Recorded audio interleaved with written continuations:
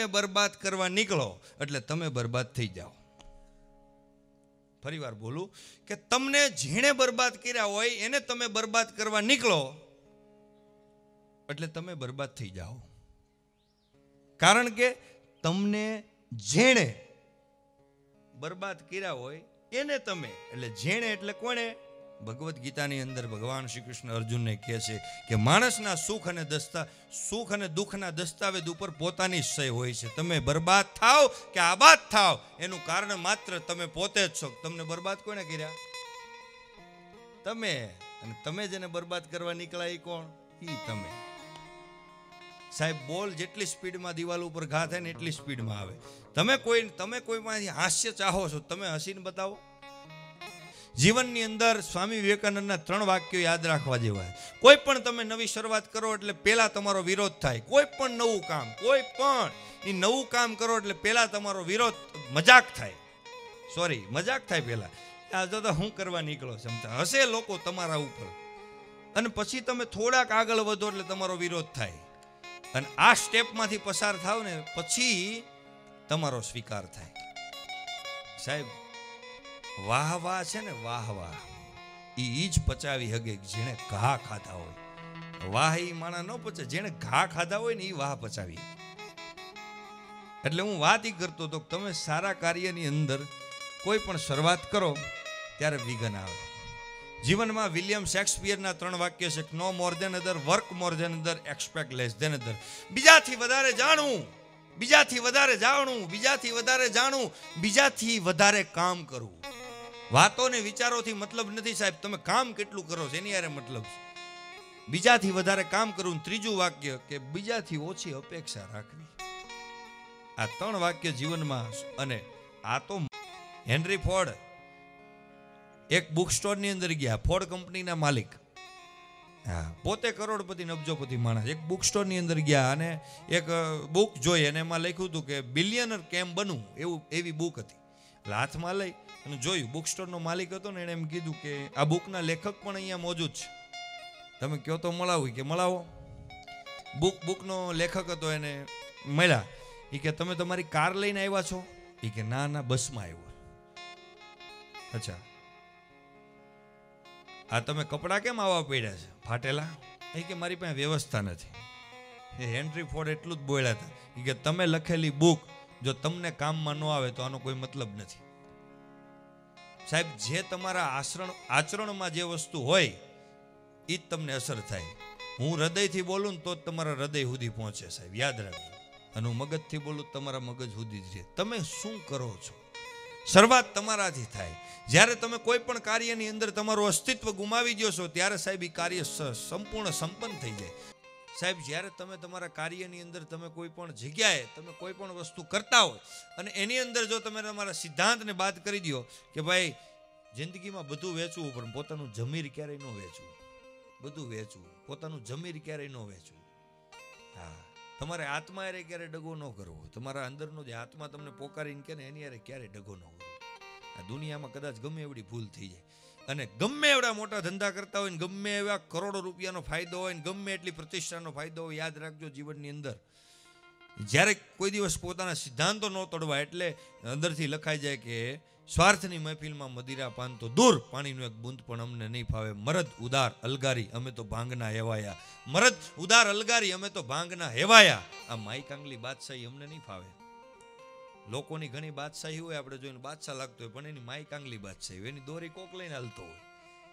હા માઈ કાંગલી બાદશાહી જીવનમાં કોઈ દિવસ નહીં કરવાની. હા, માણસાઈનો કલર એક હોય. માણસાઈનો કલર એક હોય. તું તારે થા મોટો માણસ, રંગબેરંગી થવાનું અમને નહીં ફાવે. માણસાઈનો કલર એક હોય, તું તારે થા મોટો માણસ રંગે રંગબેરંગી થવાનું અમને નહીં ફાવે. સિંહ છીએ, સામી છાતી ઉપર વાર કરીએ. સિંહ છીએ. હામી છાતી ઉપર વાર કરીએ આ પાછળ, પીઠ પાછળના શિયાળિયા ઘા અમને નહીં ફાવે.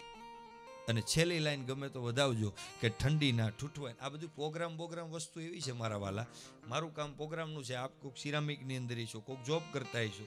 કોઈ પણ સ્થિતિમાં હું તમે જ્યારે બેઠા હોય, ત્યારે મારું ને તમારું ગાડું હલાવવાળો આપણો પરમાત્મા છે, આપણો ઈશ્વર છે, અંદર બેઠેલો આપણો પરમાત્મા છે. કોઈ દિવસ ફાયદા માટે જિંદગીની અંદર નફા સારું બોલી ચાણક્ય નીતિનું એક જબરજસ્ત વાક્ય છે કે મીઠું બોલીને તમારું કામ નીકળતું હોય તો કાઢી લેવાનું. મીઠું બોલીને જો તમે પ્રગતિશીલ થતા હોય તો થવાનું. પણ તમારી પ્રગતિની અંદર તમારી પ્રગતિની પાછળ કોઈનું હૃદય દુભાયેલું ન હોવું જોઈએ. આનું પણ ધ્યાન રાખો.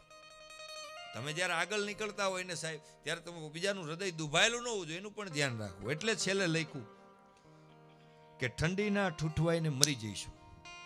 ઠંડીના ઠૂઠવાઈને મરી જઈશું. ઠંડીના ઠૂઠવાઈને મરી જઈશું. પણ કોઈના દિલમાં આગ લગાડીને તાપણું કરવાનું અમને નહીં ફાવે.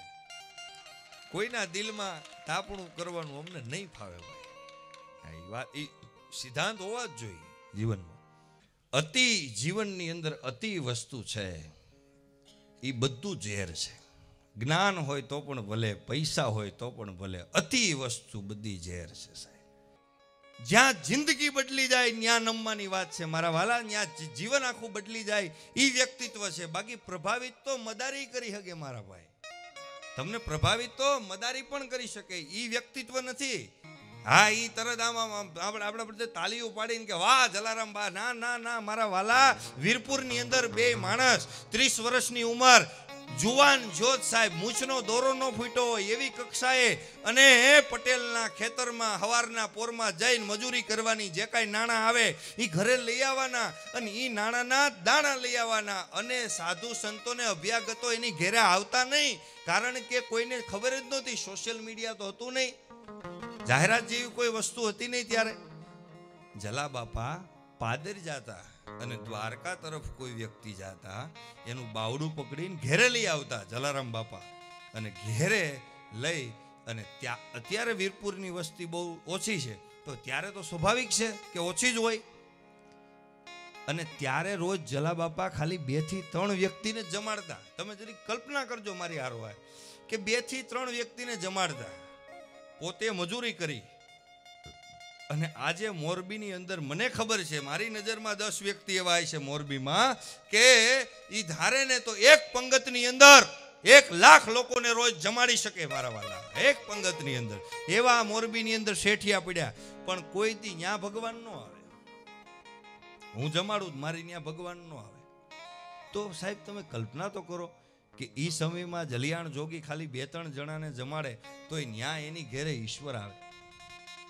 ઈશ્વરના દરબારની અંદર પદાર્થની કોઈ કિંમત નથી, હૃદયના ભાવની કિંમત છે.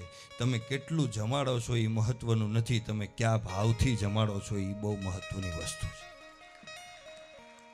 આ વિષય ભાવનો છે ભાઈ. આ દુનિયાની અંદર એ જ વસ્તુ મૂલ્યવાન છે જેનું કોઈ મૂલ્ય ન થઈ શકે. પારસભાઈ પાંદી એટલે એક લાખ રૂપિયાનો માણા મૂલ્ય થઈ ગયું, એનું કોઈ મૂલ્ય નથી. જેનું મૂલ્ય આંકી શકીએ, એનું કોઈ મૂલ્ય નથી.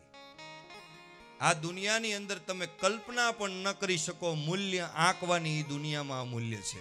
જલારામ બાબાનું ક્યારેક કલ્પના, અત્યારે બેઠા બેઠા વિચાર કરો કે જલારામ બા મારું જેમ બોલ્યા તમારું કોઈ ફલાણો ભાઈ એક લાખ રૂપિયાનો માણસ છે એવું બોલ્યા.